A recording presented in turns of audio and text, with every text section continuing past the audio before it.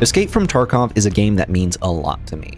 It's a game I've thoroughly enjoyed for the past few years, and it's an excellent evolution of the concept of the Battle Royale. When PlayerUnknown's Battlegrounds came out, it opened up a brand new niche for developers, resulting in a slew of popular titles. Tarkov and Hunt Showdown were among those, further developing the niche in their own direction and inspiring a brand new wave of developers to create a new genre of games as a result. The name isn't fully settled. There's only a handful of games I'm aware of that fit the mold, but some people call them raid-based battle royales, some call them raid games, some call them extraction shooters. Now personally, I prefer raid-based battle royale, but I'll be using extraction shooter in this video for the sake of clarity, because I will also be talking about battle royales and the part they played in getting to this point. Before we go any further though, I do want to give a disclaimer. Escape from Tarkov is a fully Russian game. With current events being what they are, I can understand people not wanting to purchase the game. But I do want to clarify that I purchased the game like three and a half years ago before the conflict kicked off. I'm also not going to go into any specifics on my views of the conflict because there are plenty of other people better qualified to talk about it. Also, YouTube has been getting a bit weird in terms of its policies, so if you stick around to the end, I'll have an announcement regarding that. Needless to say, I'm not telling you to buy it, but I'm also not telling you to not buy it. You're an adult, you can make your own choices in that regard. This video is more to talk about what makes the game so unique and how the trends it set are starting to propagate through the industry. With all of that out of the way, let's get into it. To fully understand what makes the game so unique and fresh feeling, I think it's best if we rewind the clock. The year is 2013. I'm 16 years old, and The Hunger Games, which had just come out the year prior, is still fresh in the minds of everyone.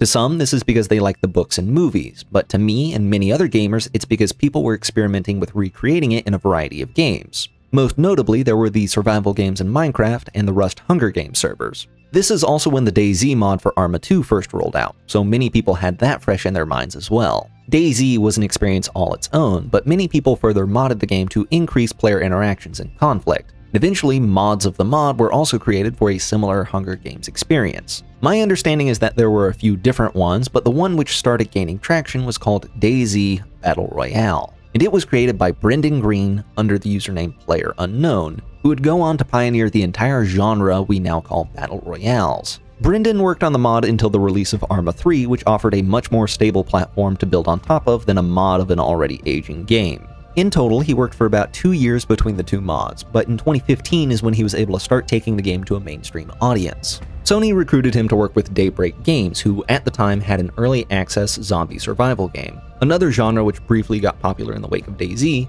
called H1Z1. He was brought on as an advisor to help them make a Battle Royale spin off, which ended up being named H1Z1 King of the Kill. Following this moderate success, Brendan caught the attention of South Korean developer Bluehole Games, who wanted to bring him on to develop a brand new Battle Royale from scratch. And this is when the genre blew up with Player Unknown's Battlegrounds. Now, PUBG was a phenomenon. For about two years straight, it was the bulk of what my friends and I played, because honestly, at the time, nothing could compare and I think the majority of it boiled down to feeling like there were actual stakes. For the first time, you needed to actually care about dying, because it didn't matter if you were the first out or the final kill of the round, death is death, so you better queue up for a new game buddy, better luck next time. This led to a wider swing of emotions players could have. You could have lower rage-inducing lows, dying in your first encounter as a result of horrible luck with loot, or legitimate fear of losing what you had and worked hard to scrounge for, which some people call gear fear. Or there was the pleasure of proving yourself to be the best in the lobby of 100 other people, claiming that winner winner chicken dinner. In its success, PUBG was able to claim multiple world records, and other developers seeing this soon followed suit with competing games. Fortnite and Apex are the two biggest competitors today, but really there were tons of games trying to shake up and tweak the formula laid out by PUBG. The trend even spread to non-shooters with games like Battlerite Royale and Tetris 99. And I know it's honestly silly sounding, but Tetris 99 slaps. However, despite their popularity, Battle Royales can have issues with player retention. PUBG at its peak was Battle Royales in their most pure form, and that gave it the first mover advantage, giving it the bulk of the audience. As time went on, new issues worked their way in, and that led to a steady decline. Fortnite and Apex are popular because they stick pretty close to that original formula, but cater to very different audiences and how they differentiate themselves. The bulk of what was coming out during PUBG's decline, however, either copied the formula too closely and thus had a hard time attracting players who already had the PUBG experience, or could be described as gimmicky, attracting players by having something that made them different, but with limited replayability. But then, two games came out right around the same time as each other, both with similar ideas, the first incarnations of extraction shooters. They scaled back on the map size and number of players, in exchange giving a more detailed and varied environment to play in. And rather than being a self-contained match where success or failure didn't have any influence on future games, extraction shooters had a certain level of persistence meaning if you weren't going to win the round, it behooved you to at least live to fight another day. If you were around during this time, the one you probably heard of first is Hunt Showdown. Hunt was interesting when it first came out because there was no circle, there was no paradrop, there was no mad dash for loot in an attempt to gain a one-up on everyone else. Instead, you got to customize your loadout before you entered the match and you had an objective find and kill the boss monster on the map, and extract with the bounty before somebody else comes to take it from you. If you get out, you can spend that bounty to get more weapons, gear, and perks to go at it again. Each raid your account got experience, and with each level up, you could unlock new gear. To use shotguns as an example, where you start with access to a single barrel break action shotgun, as you level up you eventually get access to a double barrel, and later a pump action, each of which lets you stay in the fight longer and be more aggressive. This wasn't a new concept, FPSs had been doing this for years, but it did add a layer of long-term progression to the Battle Royale formula, which was able to keep people coming back. The other game which came out right around the same time is Escape from Tarkov, which in fact released before Hunt by about 8 months. However, its popularity instead grew more steadily over time, via creators and streamers playing the game, their content working as a sort of word-of-mouth marketing. Hello, gamers! Welcome back to another gracious. My, my, my, my. This highlighted a fundamental difference in how Hunt and Tarkov came to be. Hunt was backed by Crytek, meaning they had AAA backing in their development, a marketing budget which meant you would likely see them first, and a hard incentive to become as profitable as quickly as possible. Tarkov didn't have the luxury of being backed by a large studio, instead coming from a small Russian company that was fairly unheard of and as a result had to take a very different route to fund development. Hunt had a premium currency and DLC characters you could purchase, Tarkov simply had different additions to the game, with each higher tier offering an edge. It wasn't pay to win, but it was an easier start with more weapons, armor, and ammo. If you want a full history of Tarkov's development, I highly recommend you watch Veritas's four-part series on the history of Tarkov. But in short, Battlestate Games sought to make a multiplayer, hardcore, fairly realistic shooter with RPG elements, meaning skills, customization, and exploring. They wanted to essentially make a modern, multiplayer stalker game, and I think that approach is what made the game feel so fresh. While Hunt simply had an XP bar that went up as a form of progression, Tarkov had multiple forms of progression. There's the hideout, there's the skills of your character, there's an in-game economy, but most importantly there are the tasks. Tarkov isn't an easy game to jump into for just one raid. Your experience is the culmination of many raids, successes and stumbles. It's a feedback loop powered by your ability to loot and ability to complete quests. Success begets further success as you're able to better prepare yourself for any task you're trying to accomplish. But as I mentioned before with PUBG, death is death. There is no respawn. You lose that gear, gun, and ammo. Hunt is limited when you consider the singular objective everyone shares. If everyone is playing the objective, they're all going to come into conflict at one point or another. Tarkov's tasks, customization, and economy lead to a very different dynamic. Not everyone is there to do the same thing. You might be hunting for a particular item, or you may need to kill other players, or you might need to hunt after the boss on the map after all. You might be going in fully modern body armor and a high-end weapon, or you might be on a budget and have to go in with a poorly kept World War II Mosin Nagant. Even if two players have the same task, they might approach it wildly differently, choosing their gear based on how they view the game. In the community, this is epitomized by the Chads versus the Rats, those who look to fully dominate a lobby, killing all in their path, versus those who look to sneak and ambush for their payday. There is a mad dash for loot, but it's usually for items that sell well or accomplish tasks. Unless you're in really desperate straits, it's probably not to find a weapon to blow away the guy one building over, like it is in Apex or PUBG. Now, so far I've talked primarily about the overarching systems, because they're pretty easy to explain. Incentive systems are designed to keep people coming back one way or another. But if you ask any Tarkov player what keeps them coming back, they probably won't mention any of those things individually. The place where Tarkov really shines is the situations you can find yourself in, and just how invested you can get in your character's life. No, that's not right. Your life. Tarkov is a hard game. Playing it to any serious degree will get the gears in your head turning because you need to think about how you're going to approach things if you don't want a bullet between the eyes.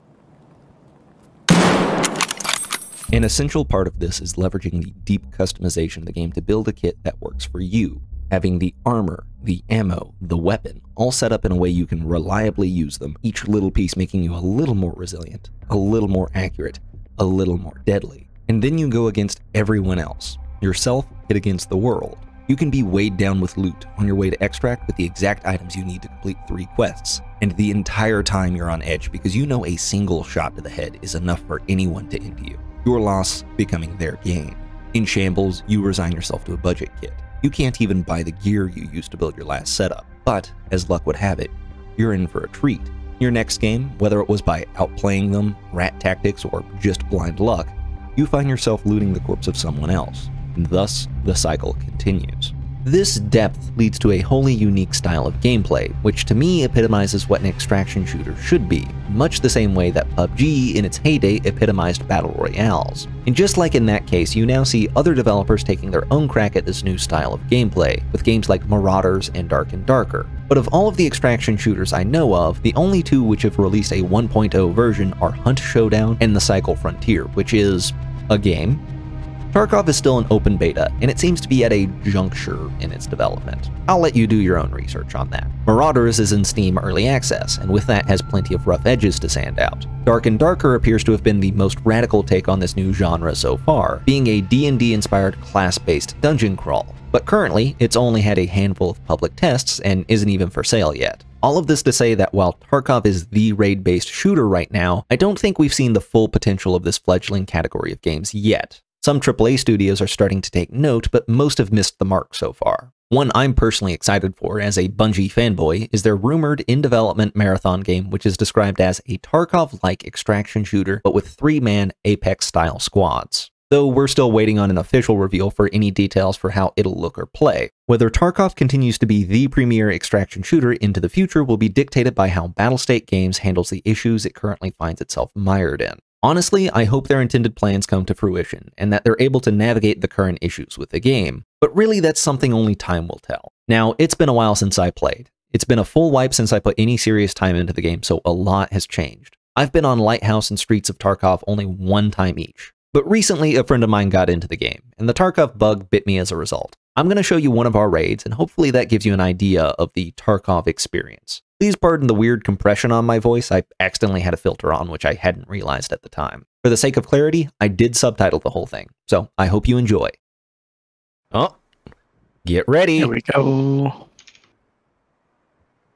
You also have bronze pocket watch, don't you, Austin? Nope, already did that one. Okay.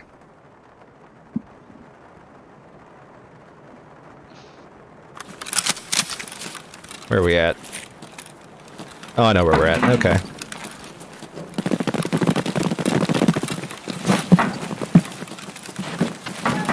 Uh, our exits Crossroads Trailer Park are UAF 13. Where do we want to try to hit? Smuggler's Boat. Uh, Are well, you Probably maybe- Smuggler's Boat after we go to dorms, but Oh, yeah, we do have to hit dorms. So I think we start heading towards dorms. Actually, there's two ways we can Do do we- this. We we can run there now, around. e- expect a fight, or we can kind of hang out for a bit and wait for any business to finish before we get there. We could walk all the way around. We have the time for it. we're in Big Red over by the train yard. We're at um the very right of the map, where the because you see the tanks right there. Enemy across Oh, where it? at the tree. Oh, I hear him. He moved let- towards the hole in the fence, the Okay. hole in the wall. Thought I, I- I- heard someone, but Yeah, it was an enemy. I shot at him, but he disappeared. This guy was on full auto, so no. All right, moving up. I heard jumping over the pipe. Yeah, Yeah. All right, careful. He was last seen over at the wall, yeah. opening the wall. There's normally more than one of them around here, so be careful. Yeah, usually there's a handful, like three or four. I Yeah. don't see, I don't see anybody through there. Usually there's a sniper up on the building too. Yeah, they like to chill up there. One on the win! Oh, oh, where's See him? Got Nice. I'll let you get that. Thank you. I'm gonna check this little building over here because I know there's a duffel bag in it. It's over by the truck, right? That's where you are. Uh, I'm in a trailer, uh, back towards the fence. Oh, oh this guy another one. on the road.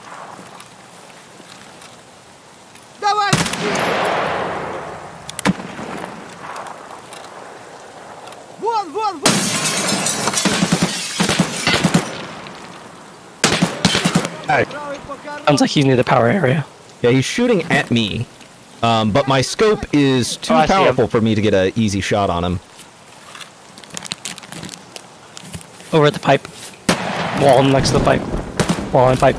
Yeah, I'm fired at.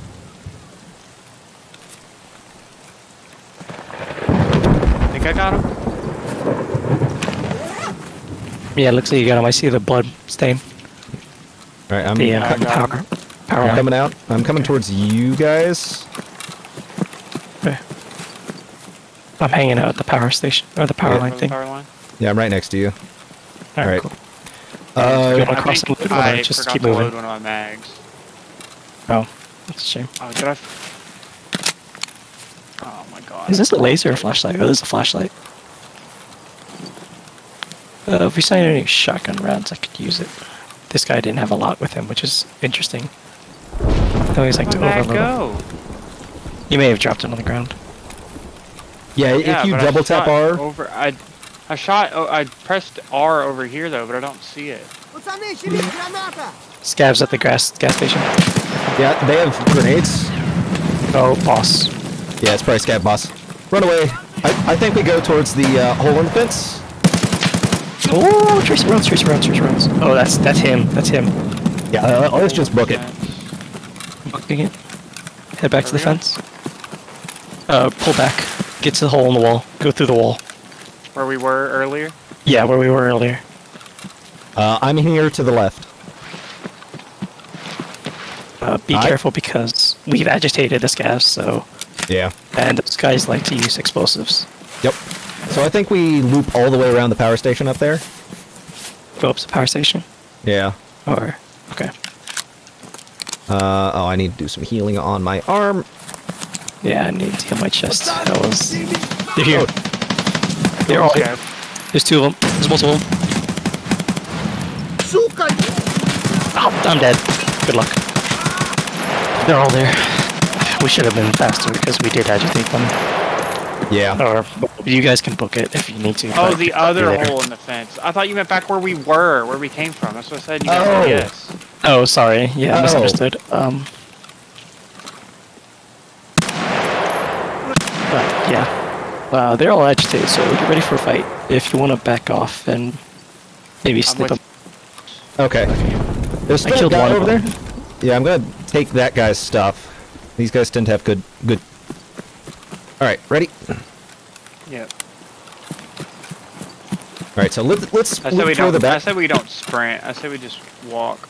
Well, well let's go further back this way. That way they don't lob grenades at us. So, uh, you wouldn't happen to have any pain meds, would you? Pain meds? Yeah. No. I got a grizzly I could drop and you could use it and then give it back to me, but I don't think that has pain meds No, it doesn't. Uh, because I've got my vision blurry right now. I should have brought my car kit with me, but I didn't. So we're at Shack now. Uh, we're near the power station right now. Yeah, I'm at the power station. our station should have a box of med within the house, does. within the shack. No, that's true. Yeah. Let me know if there's anything in it. Here, I'm running up. Otherwise, on the um, northeast side, there along the wall, there's also a stash container that could have meds. Oh yeah, I forgot about that Meds. It has meds in a syringe. Yeah. Last time I was in there, it had um, got me like a green flare, so I was gonna, so I always check that place. Oh, meds, meds, not Yeah. pain not pill pain meds. sorry. Okay. I thought you could take those, but At one point you could. Oh, oh, yeah, pull back. This is me. Here, let, us just run towards the train tracks. why's he spawning so much today, man? He wants you to kill him. I feel like it's really hard to judge distance and direction now with the sound. Mm-hmm. Where they made those changes. I'm checking this double bag real quick. Okay. Okay. Ready? Yep. Okay. Well, let's get Operation Aquarius done. I'm Oh, back wait. closer towards the wall. Where'd you go? I'm by a tree. I thought I heard something.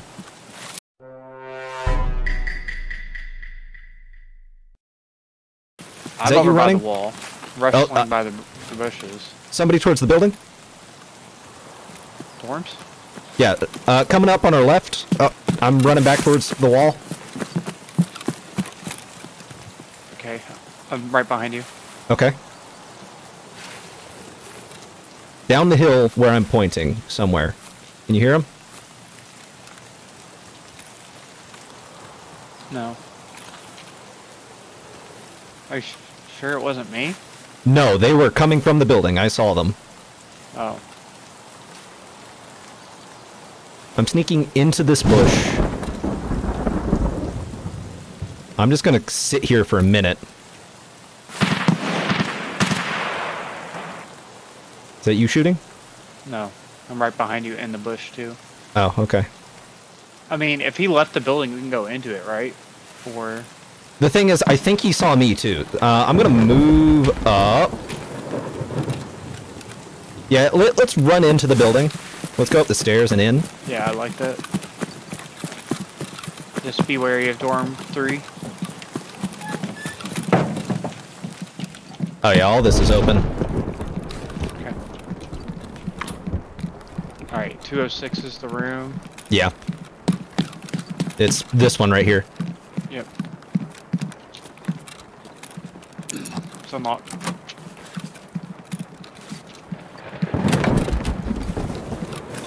There we go. All done. Ugh. Yeah, they have all this looted. Um, you have any other keys? Uh, no. Guy at the bottom of the stairs. Uh, got him.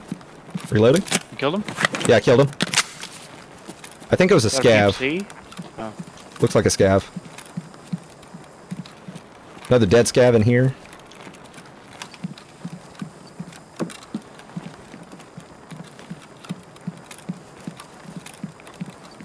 Yeah, all these rooms are open, so they have keys. I don't have any other keys on me, unfortunately. See what these guys had, if anything.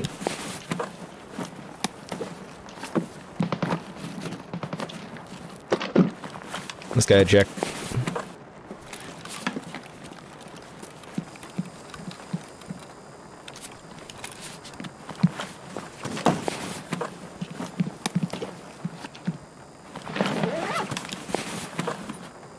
Yeah, that guy had nothing on him.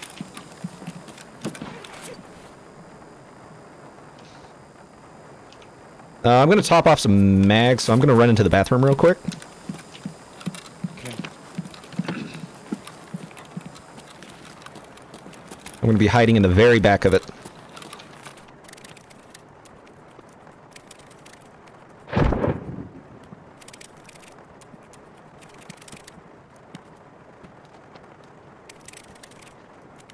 Okay.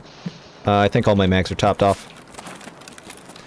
So yeah, I think we run for bronze pocket watch while we have an opportunity. I don't remember where that is. Uh, I do. It's no problem. Can you tell me roughly so I know where we're going and I don't get lost? Um, I don't know how to point it out on the map. So you know where the truck is near uh, Crack House? Yeah, Uh, it's in that truck. Uh, did you already check this dude over here? I did check that guy, yeah. Okay. So we're essentially going to be crossing the road here.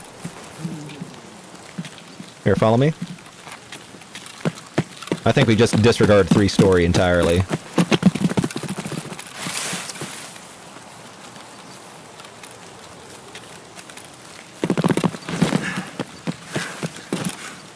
We're gonna go in the hole in the fence here. Yeah, let's go through the hole. I thought about going around a long way, but... Alright. And we're going right.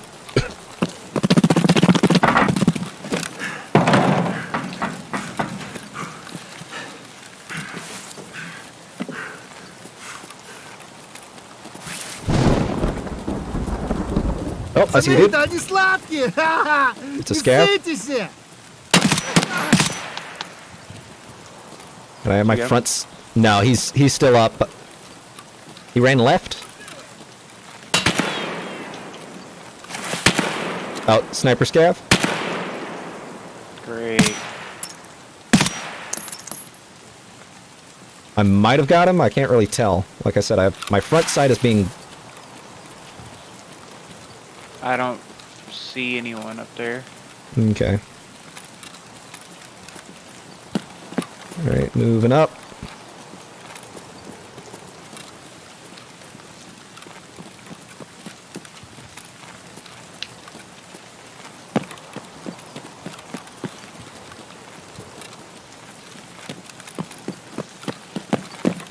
I wanna... Oh, there he is. What? done! Got him. Okay. Reloading. Alright, I'm gonna you get the box. Try and loot this, or I don't even want loot. I just want the pocket watch. okay. I, I'm actually full entirely, so. Oh, I am not.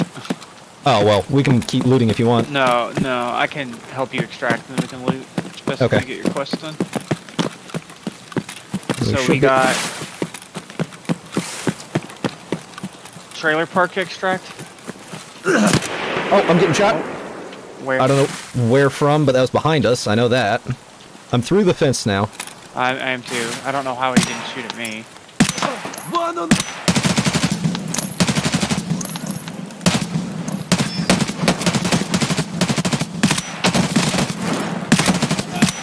Bro, how are we missing these shots? Garbo guns!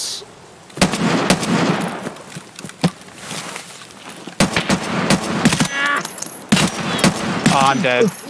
Oh, you're dead, Yep. dude. Well, I got the scav. Where'd you die? In a bush off to the left. Oh,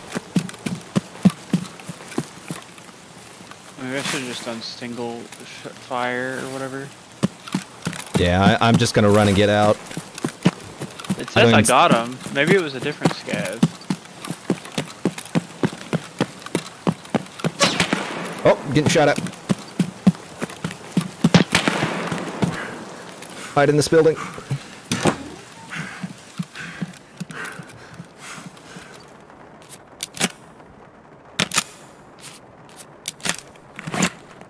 Oh, Lord.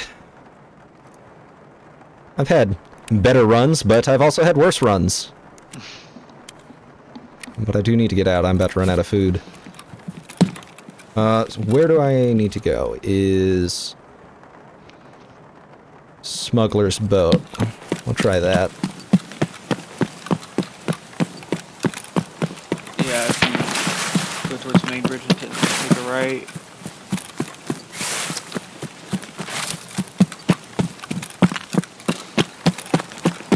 Yeah, Smuggler's Boat is open. If only we just ran straight across, we could have been good.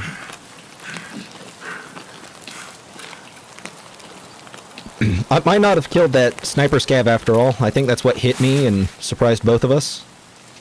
Oh, I But would do then- it. But then, uh, the, what you call it? The scavs Just we were scav over shooting. by Ice Cream Shack. Yeah. Yeah. That dude I, I did end up killing, but uh, I think it was right after you said you died.